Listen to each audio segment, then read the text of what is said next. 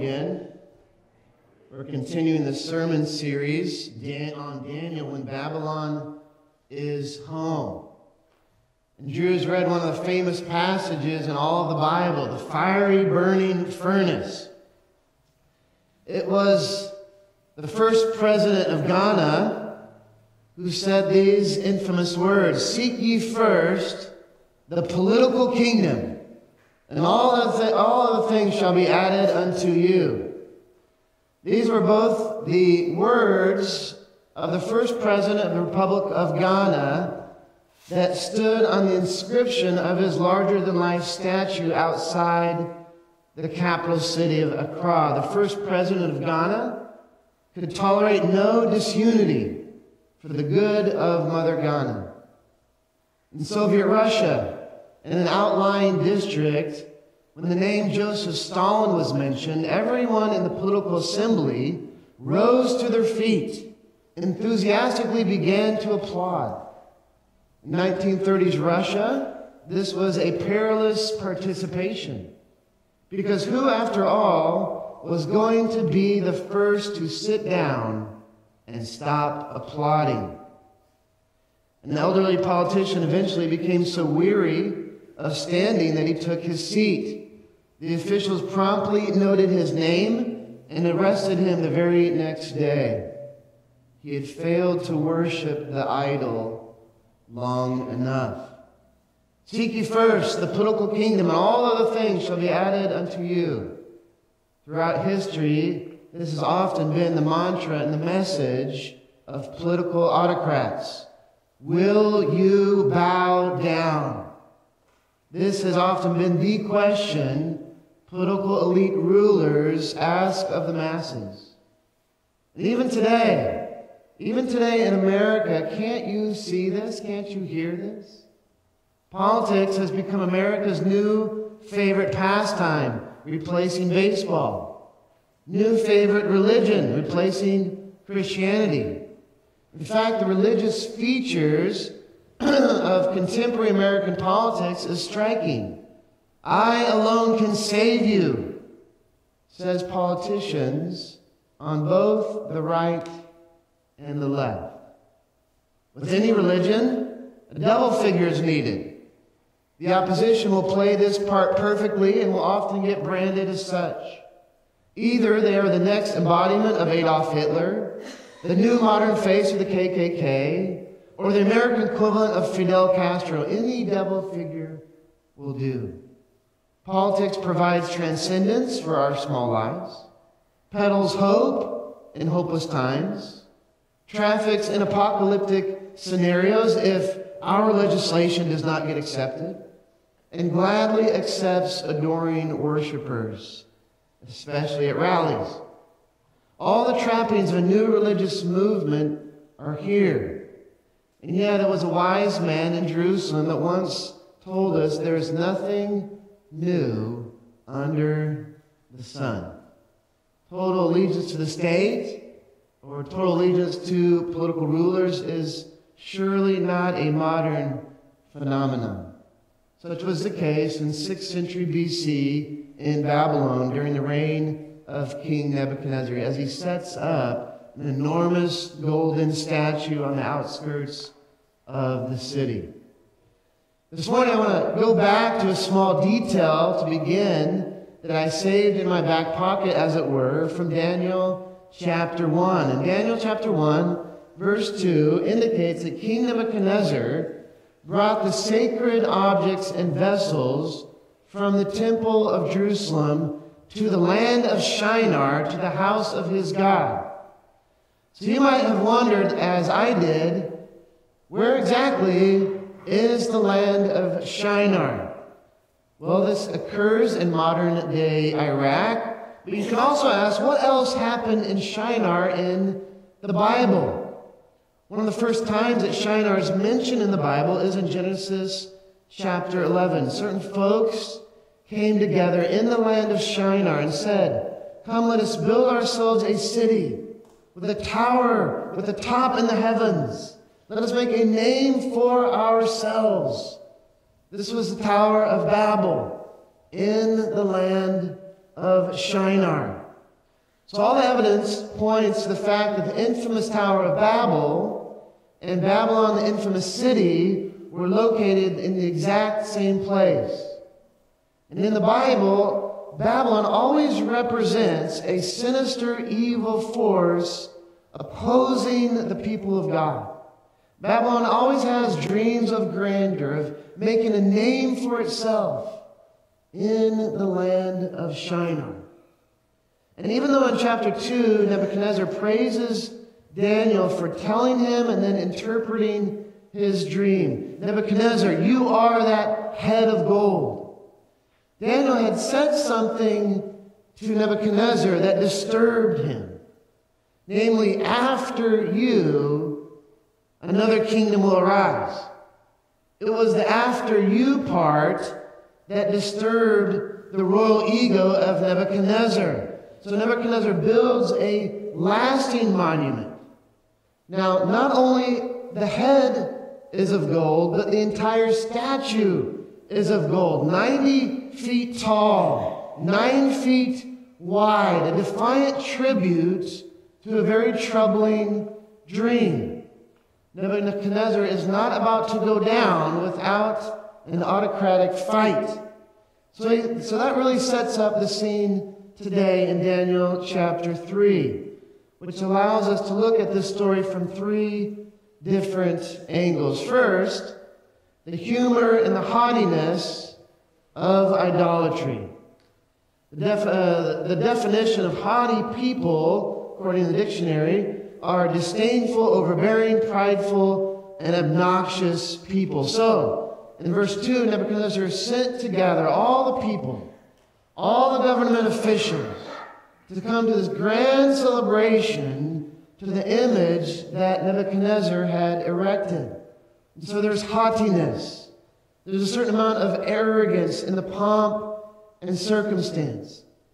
But there's also humor just under the surface of this story as this Jewish author tells it. First of all, Nebuchadnezzar made an image.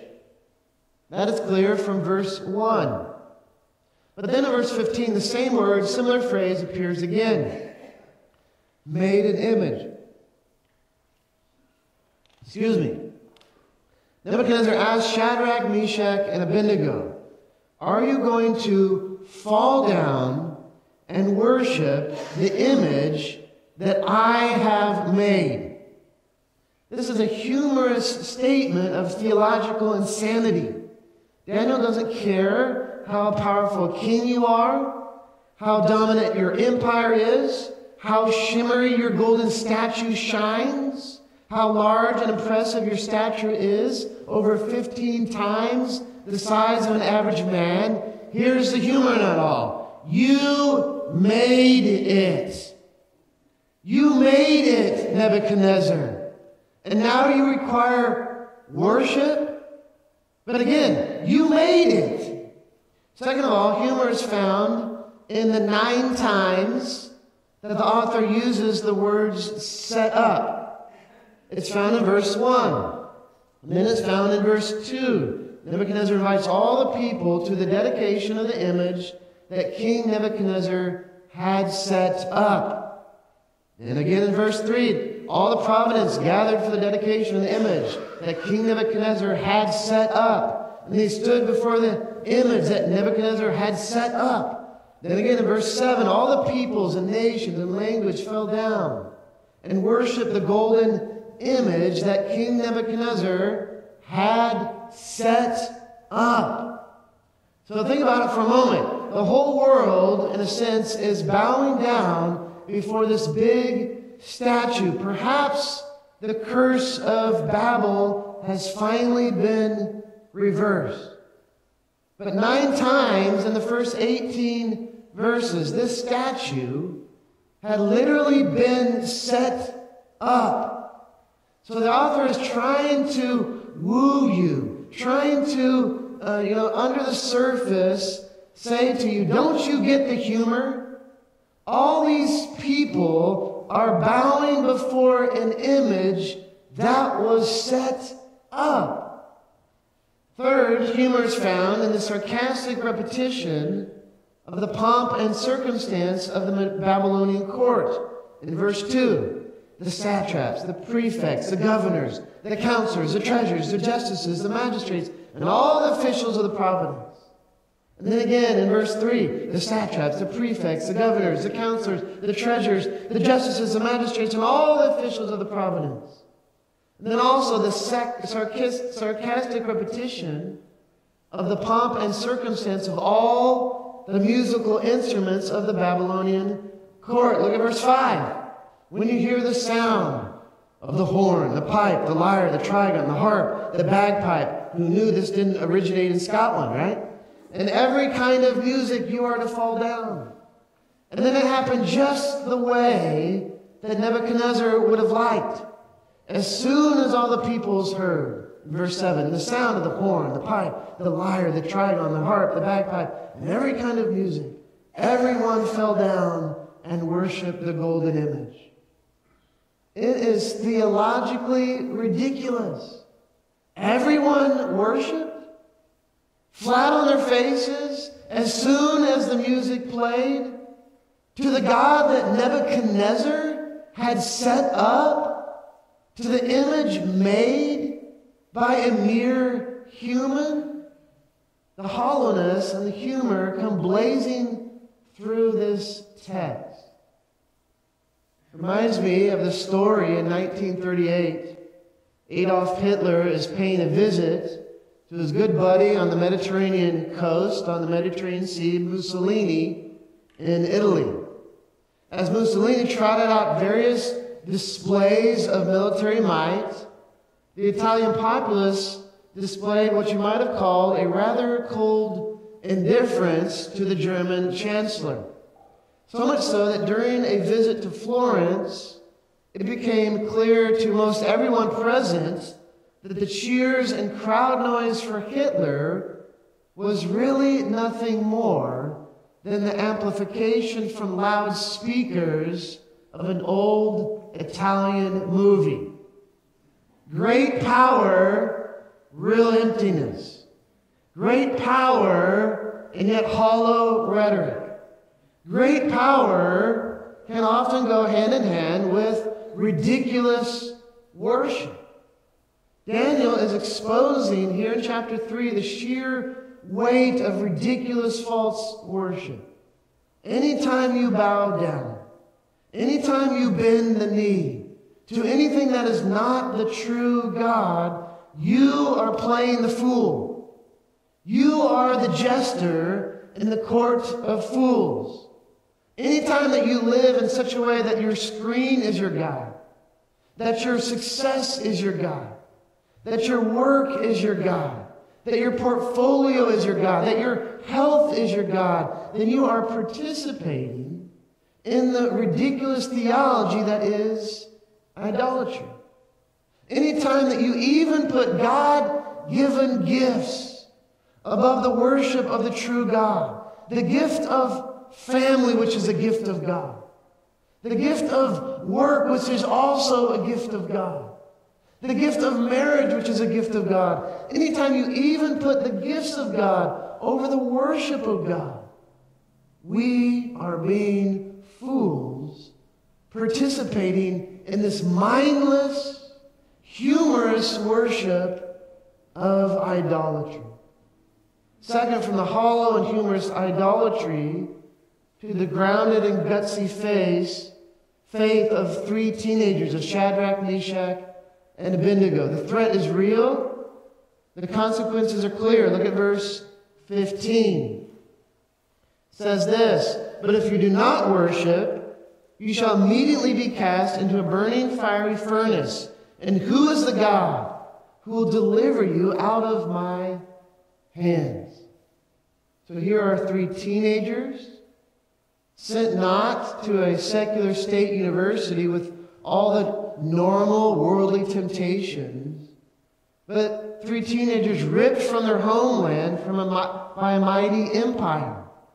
Even the great Martin Luther needed a night to consider whether he would recant his writings during the Protestant Reformation. Yet, these three teenagers could say automatically They could say swiftly what they believed, who they were. They could identify the threat of idolatry and the delight of only offering true worship to Yahweh. How did they do this?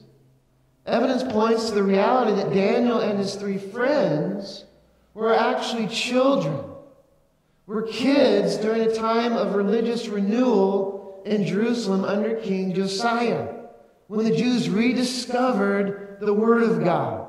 When again the priests began to teach very faithfully the Word of God. And so these three teenagers grew up listening and they grew up participating as the Word is being taught week in and week out. So that's how they knew what they knew. But what did they know? They knew the Word of God, and they were able to stake their lives upon. They stood very simply on the powerful, life transforming Word of God. Exodus chapter 20, the first two commandments.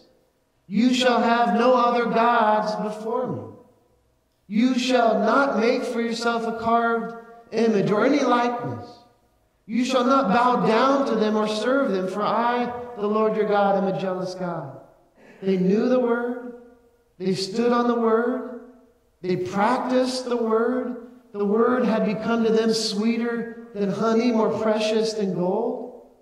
And following the God of the word delighted their souls more than 10,000 threats from King Nebuchadnezzar, more than the threat of the burning fiery furnace. They would have embraced what the Apostle Paul says in Genesis or in, Galatians chapter 1, verse 10. When he says, For I am, for am, am I now seeking the approval of man or of God? Or am I trying to please man? If I were still trying to please man, I would not be a servant of Christ. These three teenagers had been prepared through the Word of God for a time such as this. Look what they say in verse 16. O King Nebuchadnezzar, we have no need to answer you in this matter. If this be so, our God, whom we serve, is able to deliver us from the burning fiery furnace, and he will deliver us out of your hand, O king. They knew God's power. They knew God's ability. They knew the God of the Exodus, the God who delivers and rescues and redeems his people. the stories of the patriarchs, the stories of Moses were not these faraway, distant realities, but rather the very building blocks of their lives and their faith and their identity. They knew how to identify compromise. They knew how to identify the faithfulness of God. They knew that God was powerful. They knew that He delivers. and they know how to identify sin and practice righteousness. But then look at verse 18. They say, But if not, but if not, these three believers, Shadrach, Meshach, and Abednego, they weren't the type of believers prone to mistaken faith for what we might call today toxic positivity. Now, toxic positivity, if you've never heard this term before, is defined by psychologists as the excessive and ineffective overgeneralization of a happy, optimistic emotional state. Toxic positivity invalidates real emotions, minimizes real trials, and downplays and denies the full human range of human emotions. In the church of today, toxic positivity can often sound like this God won't let you fail. If you just have faith, delete negativity from your life. Just speak and just think of positive things, and positive things will happen in your life. Friends, this is Oprah. This is the Word of Faith movement. This is Joel Osteen. This is not the Word of God. Nor is it the word that Shadrach, Meshach, and Abednego spoke to the king. They did not say to King Neb, I have faith in my faith. And I'm going to speak into existence God's help and protection. They did not practice toxic positivity cloaked in the language of faith, but rather they acknowledge all of God's attributes. They acknowledge both the power of God, but they also acknowledge the freedom of God. In verse 17, they acknowledge the power of God. God is able. God is always able. God is always able to deliver us. But then in verse 18, they acknowledge the freedom of God. But if not, the NIV translates it, but even if he does not. Do you get what they're saying? But even if he does not deliver us, make it be known to you, O king, that we will not serve your gods or worship the golden image that you have set up, even if he does not deliver me. Even if God does not make my life easy. Even if I suffer disappointments in life. Even if He doesn't heal my loved one. Even if the church lets me down. Even if we are bound hand and foot and thrown into a burning fiery furnace because we simply want to obey a commandment. Still, we will obey our God. We respect the freedom of God, even as we believe in the power of God to deliver. So these three young teenagers knew the attributes of God. They knew the commandments of God. They knew that better in your one is one day in your courts, O God, than practicing in practicing obedience than a thousand days outside your courts bowing down to the false idols of Babylon. And so first, the haughtiness and humor of idolatry.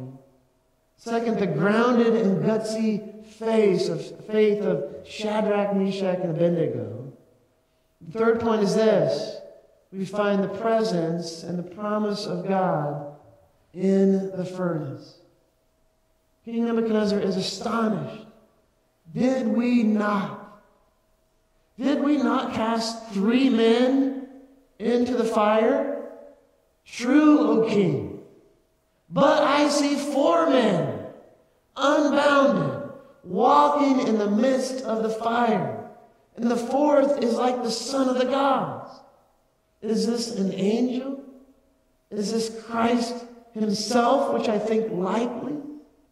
Whatever the case, this is the God of Isaiah chapter 43, verse 2. When Isaiah writes, When you pass through the waters, I will be with you and through the rivers, they shall not overwhelm you. And when you walk through the fire, you shall not be burned, and the flame shall not consume you. God did not deliver Shadrach, Meshach, and Abednego from the fire, but rather through it. Yet God did not keep them from the burning fiery furnace, but found them in the midst of their trial. You see, nothing can keep this fourth man from his people. Not fiery furnaces, not sicknesses in operating rooms, not the early death of a loved one, or the empty house after a death, not wayward children that aren't turning out like you hoped they would have turned out, not a painful divorce. Nothing can keep this fourth man from finding you in the very midst of the fire, in the very midst of the trial. And so, don't we often wonder, I wonder if God could do this for me? I'd totally live for God.